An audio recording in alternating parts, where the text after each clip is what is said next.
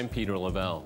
If you trust the mainstream media, well, then you're in the minority. Sadly, a great deal of media today is not designed to inform, but rather confirm political biases. This approach to the news is not only polarizing, but it's also lowering journalistic standards.